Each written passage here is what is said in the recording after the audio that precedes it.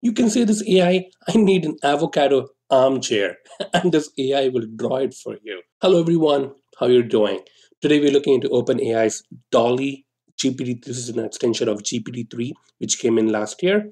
And now this is an extension where it's not only able to generate text and artifacts, but also images from a given text. So DALL-E is basically, the name came, came from the artist Salvador Dali, Seems like uh, this gentleman was someone who was known for drawing keen, precise, and very bizarre drawings. And the next part of the name is coming from the Wall-E, and that's how they've named it DALL-E.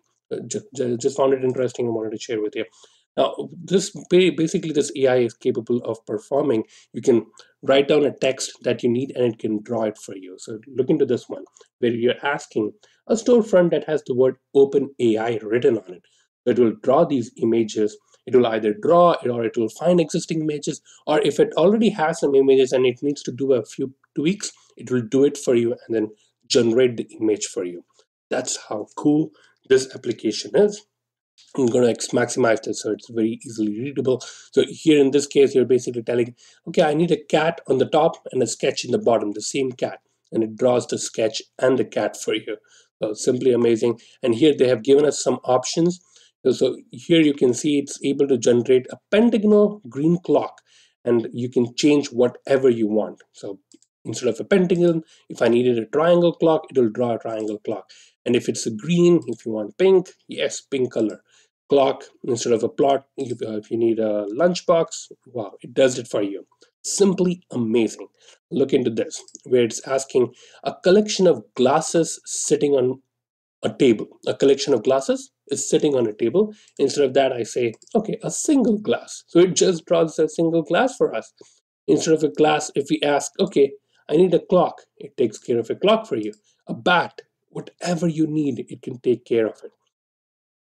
Look into this one, a small red block sitting on a large green block. So you're specifying what exactly you need. So it's basically a combination.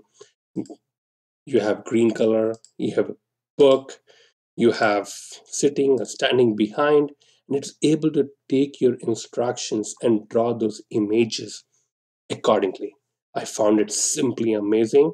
Look into this one. This is a more intricate drawing where it's in fully emoji. You're drawing a penguin. Instead of a penguin, I needed a fox.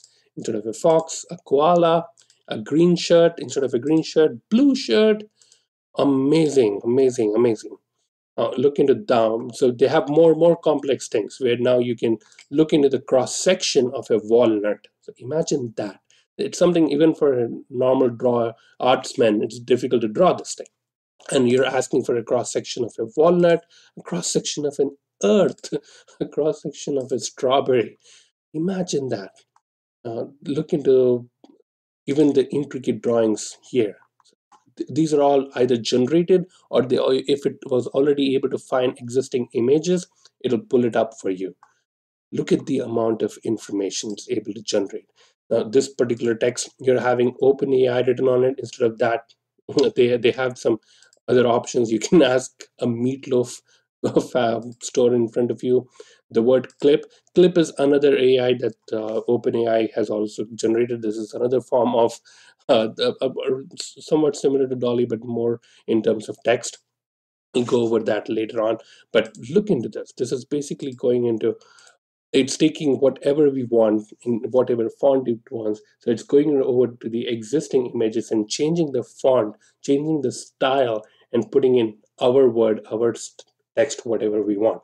So it's not just the text it's even the style has been copied from the existing images. This is something which i found very fascinating and just thought of sharing with you. It came out yesterday so it's very fresh here you're asking for a mannequin dressed in a colored type of shirt.